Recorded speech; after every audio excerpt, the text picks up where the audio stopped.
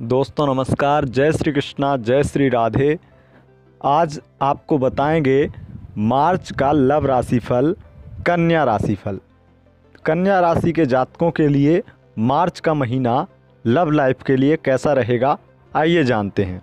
दोस्तों, शुक्र का संबंध प्रेम से होता है।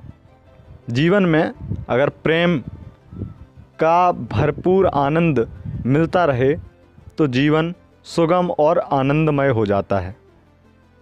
कन्या राशि से शुक्र का संचरण अष्टमस्त रहेगा। अष्टमस्त शुक्र का संचरण जीवन में कई सारी विपत्तियाँ, कई सारी परेशानियाँ लेकर आएगा।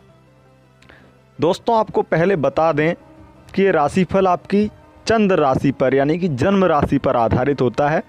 तो आप अपनी चंद्र राशि, जन्म राशि के अनुसार इस राशिफल को सुन व देख सकते हैं। अगर आपको अपनी चंद्र राशि, जन्म राशि पता नहीं है तो आप इस राशिफल को अपने नाम राशि के अनुसार भी देख व सुन सकते हैं। अब आइए जान लेते हैं, कैसा बीतेगा? अष्टमस्त शुक्र का संचरण आपके लव लाइफ के लिए कैसा रहेगा?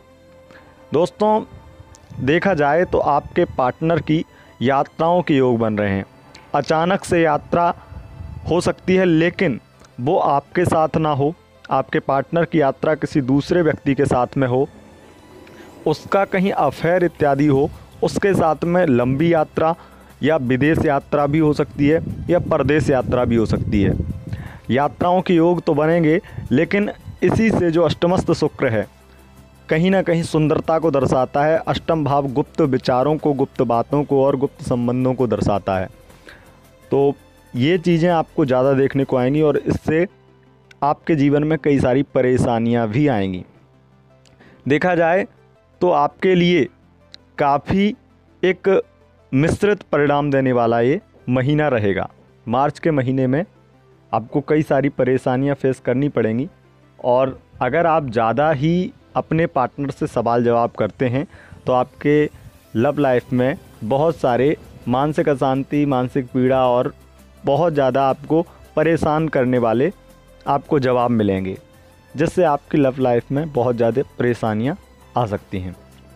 अब शुक्र का जो दृष्टि है, वो आपके द्वितीय भाव पर यानी कि कुटुंब पर पड़ेगा।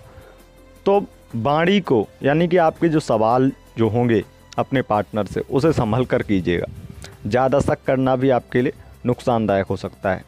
वही लव लाइफ पर हो सकता है कि आपके पार्टनर पर कोई तंत्र क्रिया करवाने की, यानी कि जो तंत्र क्रिया होती है, वो करवाने की कोशिश किया।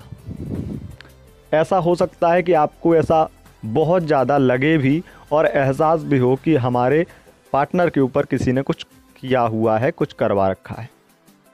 क्योंकि अष्टमस्त शुक्र कहीं ना कहीं ये भी दर्शाता है कि व्यक्ति, आपने देखा होगा, जो ज़्यादा सुंदर होगा, जो ज़्यादा सुंदर होगा, जिसका शुक्र बहुत अच्छा होगा, वो या तो और अष्टमस्त शुक्र का यही संबंध रहता है, या तो वो बनता है तांत्रिक, या फिर वो बनता है दूसरों के साथ रमण भ्रमण करने वाला व्यक्ति।